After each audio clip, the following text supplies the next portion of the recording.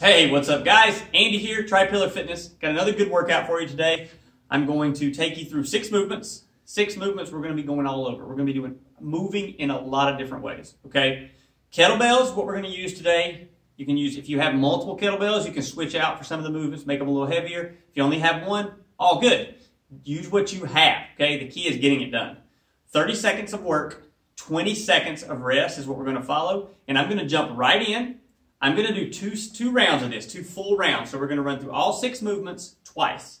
If you want a full workout, a longer session, you can go for, you can repeat this a couple times. But I'm going to coach the whole time, help you out, give you modifications when I can, and boom, enjoy, jump in. All right, we're going to start. First thing is a kettlebell, plank, pull. Okay, so you're going to come down in a tall plank position, put your kettlebell beside of you, 30 seconds, and begin. So, hold that tall plank. You're going to reach underneath, pull that kettlebell.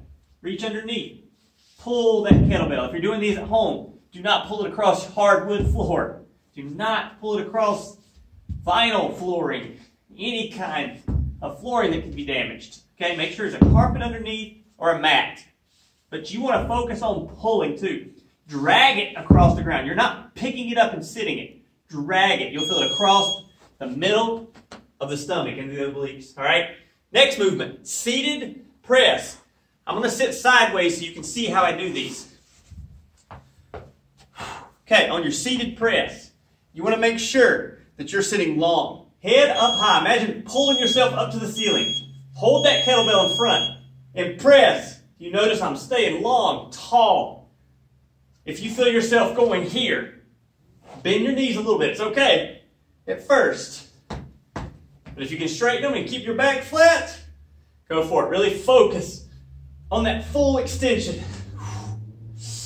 Breathing as you go. Focus on not dropping the kettlebell on your head. That's very important. Boom. Okay, seated press. Remember, your knees can bend. It's okay. Goblet march. So goblet march, all we're going to do is hold the kettlebell high. Pull the knees, okay? Here we go, five seconds. Now, here, knees up. So watch my back. We don't want that. So if you feel that happening, stop. Puff up your chest, keep tall. Pull those shoulder blades down. And keep that knee driving up. You're also not kicking forward. You're driving your knees straight up and down. Brace your abdominals. Focus on not rocking. You're going to feel your low back a lot right here. A lot. That's good. It's okay. Nothing wrong with that. Boom. Wide stance row. So from the front here, you can see you're going to step out, feet wide, toes slightly turned out. You're going to hinge. You're going to hinge down over this kettlebell. Torso is going to be flat. Push your hand or your forearm, and you're going to row. You're going to row. So if you can see me from the side here, as long as your elbow is to the side of your torso, you're in good shape. Touching the ground in between. So make sure your knees are bent enough to keep you low. Good hinge. Breathing. Nice. Easy. 30 seconds up. Next, we have a narrow stance goblet. So we're going to go back to holding that bell up here again. Narrow stance, feet are going to be close together, about hip width. And we're going to squat as deep as we can go, pain-free. The goal is to get low. But do what your body allows. You build yourself up. So, coming down low, back up. You can see me from the side here. Notice my back stays pretty flat. I'm not rounding. So if you feel yourself there, then stop. Do not go any lower. Do not go to where you round in your lower back. Keep your back nice and flat. Also, pain-free. No pain. Boom. Hands. Last but not least, mountain climber stretch. So we're going to go down in tall plank again, just like we did in the beginning. You're going to bring one foot up the side of your hand, or as far up as you can bring it. Here we go. So holding this position, bring your foot up. Then re other side. If this is all you can do, that's all you can do. You can also do this up on a bench as well. You don't have to be all the way on the ground, especially if this is too hard. Pulling that foot forward. You want to make sure you pull it and then sit into it just for a second. Sit into it. Boom. And short rest, and we're going to repeat again. But remember, if any of these movements aren't feeling good, doesn't mean you can't do them ever. It means they may not be right right now. Okay, so don't push it. You have to ease your body into certain things. But all these are just basic movements, basic movement patterns. So if you can't do something right now, you don't have to mark it off forever. Earn it.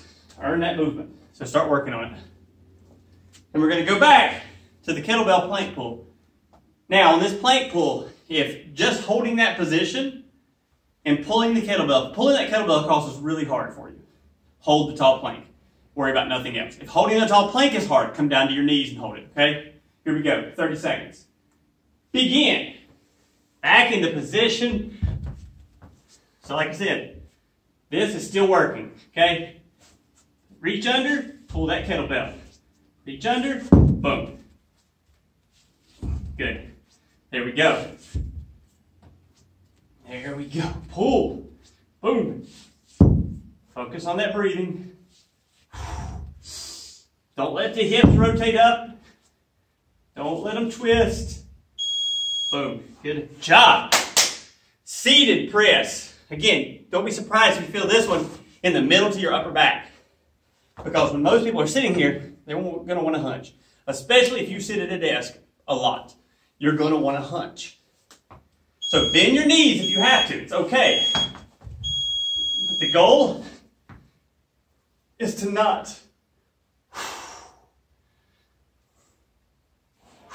So yeah, like I said, you need to, this will allow you to keep that back flat. If You notice for me, it's a lot easier. So I'm dialing it back just a little bit. Just feel a little bit of tightness in my hips today. Breathing as you go here. Nice. Goblet march. So again, remember, this kettlebell up at your chest, Bringing those knees. Bringing those knees. We're just focused on movement. Movement is key. Good solid movement. And begin. Remember, don't round. So if you're getting it this high, but you feel that happening, stop. You're going too high. Driving the knees straight up. Feel it pulling. Imagine pulling the lower abdominals. Feel them pulling your knee up. You feel it in the crease of the hip. Getting them up high. Final five seconds. Good. Wide stance rows. I'm going to go sideways so you guys can see me a little better this time. And we're going to the opposite arm. So make sure you drive the forearm into the knee whichever side you're not rowing on, especially if you're feeling anything in your lower back. You also don't want to be here. Don't be rounded. Push your butt back. Boom. Good hinge. Breathing as you go. If this still does not feel good on your lower back, you can always put your hand against something sturdy to brace while you're rowing. So this will help brace you, keep you stabilized, you may not feel as much pain. But if you are feeling that, loosen up your hips, okay? Most of the time, tight hips leads to tightness and pain in the lower back. Not always, but most of the time. Back to the narrow stance goblet squat. Remember, keep the elbows down on your goblet, bell right out from your chest, squatting deep. Feet are about hip width. Back is nice and flat. Big breath. We're not trying to do 20, 25 reps to make us tired. We're trying to do good, solid repetitions to improve the movement, to improve the way we move. So that as we get older, we're not limited in our movement and we're not weak and in pain. Full real. For real. Mountain climber. Stretch. Last one. Remember, doesn't matter how far up you come. For some people, that may be that may be stretching. Do your best. Make sure your hands stay under your shoulder.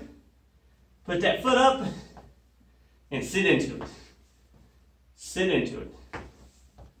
Boom. It's nice. Good stuff. Feeling good. Brace, keep your abdominals tight. Hold that stretch just for a few seconds. Remember, if that's still hard, it's also okay just to hold here. Or you could go up onto a bench or onto a couch and then start pulling your legs up, okay? Nice work. Two rounds. Two rounds, all you had to do. If you have any questions, feel free, shoot me a message. I'd love to help you out, give you some tips, some pointers. But just remember, don't push it. Don't push your body into pain. It's okay if you can't do some of the movements right now. You can build into them. Okay? Have a great day and hope you're feeling awesome.